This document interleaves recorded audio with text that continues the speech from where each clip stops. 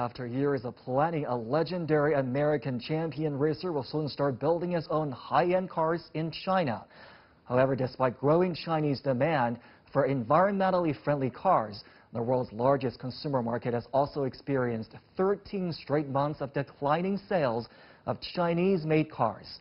At the same time, the trade war continues to smolder. President Donald Trump on Tuesday threatened tariffs on another $325 billion worth of Chinese goods. Nevertheless, Steve Saleen and his Chinese partners have now completed their first two production plants, and they recently announced plans to establish a research center focusing on China's automotive industry.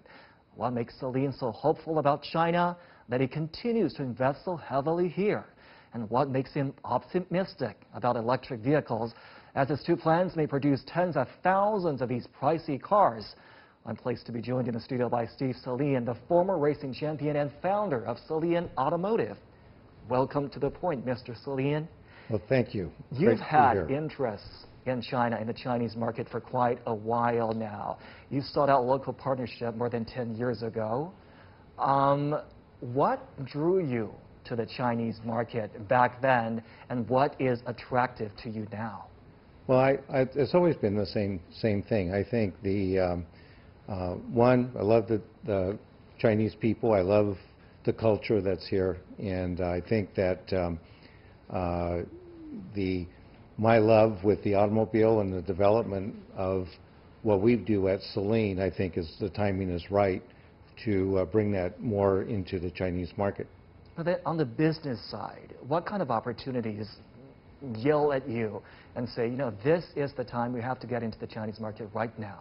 Well, I think, first of all, the Chinese market, even as you mentioned, is on a decline. It still is the largest automotive market in the world. So you're, you're selling 25 million vehicles a year, and that's still a significant amount of vehicles. And what I look at from the Saleen brand is that we have a very unique, we have a very distinctive style. We concentrate more on the performance side, on the thrill of driving. And from my exposure here in China over the last 10 years, I find that there's more and more of a growing demand for the type of vehicles that we produce. You mentioned some of the changes the Chinese market has undergone, including declining sales. Um, here's what's been happening. Wholesale of Chinese-made passenger vehicles um, have actually fallen eight, more than 8% in June. And uh, that metric has now declined in China for 13 consecutive months. When you look at those data and those numbers, does that worry you about future prospects here in China as your plans get ready to roll off? No, um, really not, not, not really, because we're focusing on a void in the market that we think exists here in China, and that is for the type of products that are more performance oriented offer a different driving experience for the consumer. And we've seen from our research that uh, that, that has not been fulfilled, and we feel that with our product, it's the right product at the right time. Can we talk specifically about the product here, the S1? Yes. How does it fill the void? Well, we, we are, we're offering a supercar level of performance at a very um, cost-effective price. And there isn't, it really isn't just China, it's throughout the world on a global basis. The level of performance with the S1, 450 horsepower in a car that weighs 26, 2,700 pounds, with the aerodynamics that we've developed um, for that car, there really isn't a car in the world that competes with it.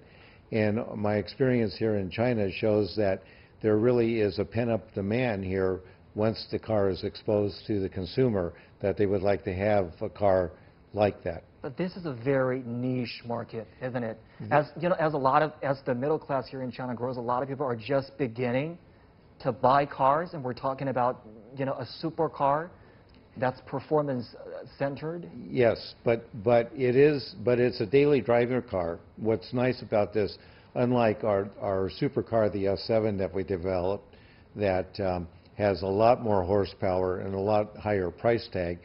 The S1 is a car that the that the people can drive on a daily basis. It gets good fuel economy. It has all the creature comforts. And it's just the first of many of the vehicles that we're looking at out, uh, bringing out of the, with the Saleen brand. Talk to us about the production plans and the research center um, that will help the Saleen business here in China. Well, we're very happy with, uh, we have a great relationship with the Rugao government, and um, we have just completed the construction of a large facility up in Rugao that can pr produce hundred thousands of vehicles per year. And um, in, a, in addition to that, we've used the most modern techniques that makes the car manufacturing very efficient. We have a lot of robotics and all of the, which gives us a little bit of an advantage because we're able to blend what we've learned from racing and the niche markets, as you said, and bring that into more of the mass consumer um, vehicles that the consumer can uh, enjoy.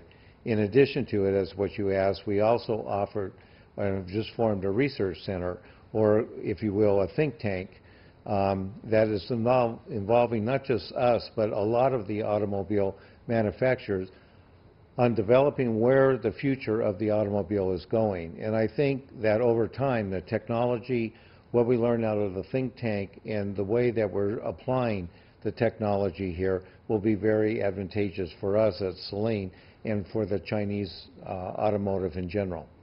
In your very personal opinion, where will the future be going? Are we talking about electric cars?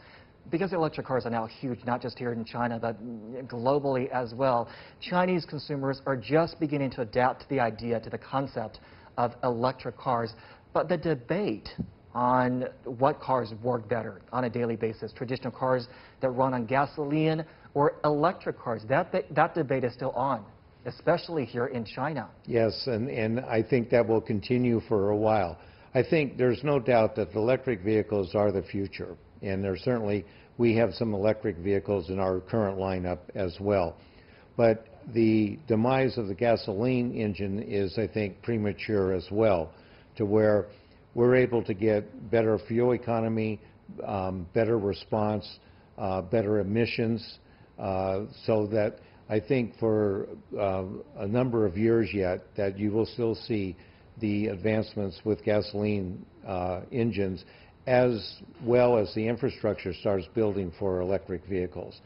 I want to talk to you about this big business backdrop that um, worries and concerns a lot of businessmen like you who do business between China and America, the trade frictions between Beijing and Washington continue, where the two sides have just decided to resume negotiations. What aspect of that ongoing trade war impacts your business here in China, and what are your worries and concerns? Well, I, I think um, I certainly agree with you that it's um, uh, a very wor worrisome uh, aspect of it. The um, we live in, a, in really a global economy, and there isn't a single manufacturer in the world that single sources in their own country. The automobile industry now sources from literally around the world. So it isn't just our particular case, it really is the whole economy Absolutely. that will have an effect on the, on the uh, trade war. My hope, my desires, and my, my gut tells me that the, uh, we're dealing with people that have very good intelligence um, that are making these decisions, and I think that that over a period of time that the, the, the answer will resolve itself so that it doesn't affect ultimately it's the consumer because the consumer is paying the price which will just raise up the prices for for uh, businesses to be able to cope with the uh, the extra added um, costs the consumers will take a hit, no doubt, but how would tariffs on vehicles and auto parts reverberate across the global supply chain? Well, it just virtually everything we buy. So if we we end up as we import a lot of things into the U.S., we have to pay tariffs on that, and then those tariffs, some of it can be absorbed by the companies, and some of it can't be. It gets to a point where the company then will have to pass on through price increase on the product which ultimately the consumer will have to pay for it. It really is pretty simple math, and I think that um, the powers to be and will certainly recognize what's at stake and, and we'll find a, the appropriate solutions. let's also talk about car culture. Um, you're from Southern California, where there is a massive car culture. But car culture here in China is just beginning to form. Um, people have been educated about it. People start to form their very own opinions about car culture. But still, it's budding. What's your take on China's car culture and the difference between that and the car culture back in the United States? Well, I'm, I've been watching over the years here is that 10 years ago, the car culture or cars were not very prevalent throughout the Chinese market. And over the, the last number of years, it really has accelerated. And uh, you, you said before we went on air here, you said you were from, or you went to USC in Southern California. I actually started the car club in, in USC. We had a car show that, uh, that I organized to get that culture going.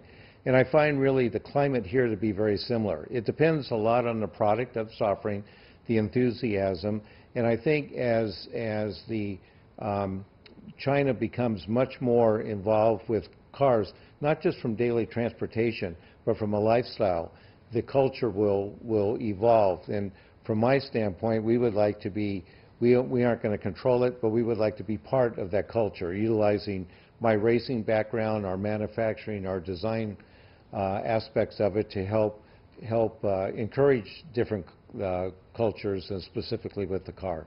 And that leap from everyday use to culture certainly affects their choices when it comes to what kind of cars they will buy. I'm afraid, great conversation. I'm afraid that's all the time we have. A pleasure to meet you and have you on our program today. Thank well, you. Thanks, and, and, remember we have Saleen Night too coming up here in Beijing. So all right, we invite you for that this Saturday night. Thank you so much. Congratulations on the production plans and the research center. Thank, Thank you. you.